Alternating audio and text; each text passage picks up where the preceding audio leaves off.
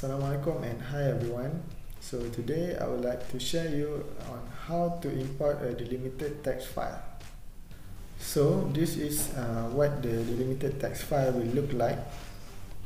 It has a, as you can see here, it has a double quote and a comma. So this is what that you need to take note on before you importing the data into ACL.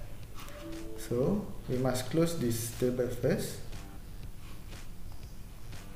And then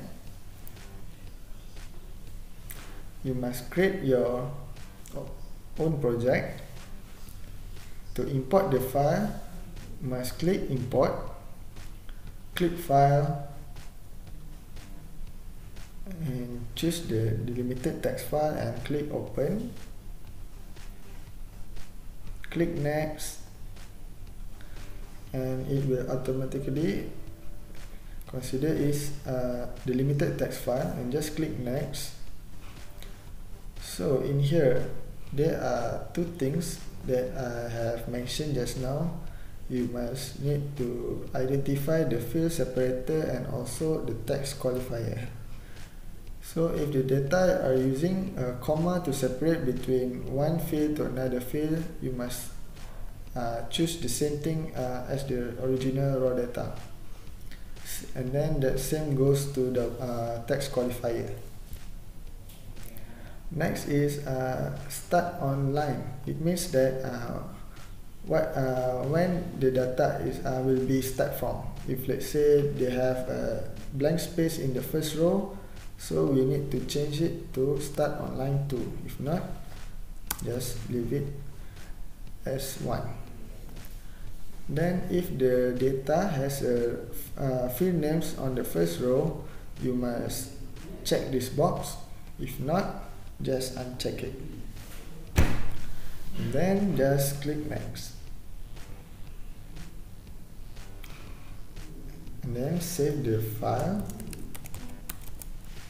and click save. Now this is the time where we identify uh, each fields on what is the type, what is the format, and also the field name. Here I put name as the field names and the type is text. The second field is address and also text. Third one is postcode.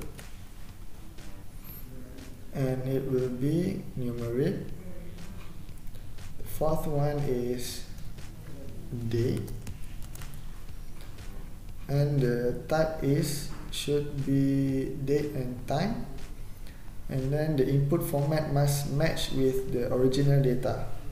Let's say here uh, the first uh, one is year month and day so we must put the format as yy dash mm dash dd then the last field is amount. So the type is numeric and the decimal places is 2 so after we done uh, identifying each field we must click next and click finish. And lastly just click ok. So pretty easy isn't it? So I think that's all from me. Uh, see you again. Bye bye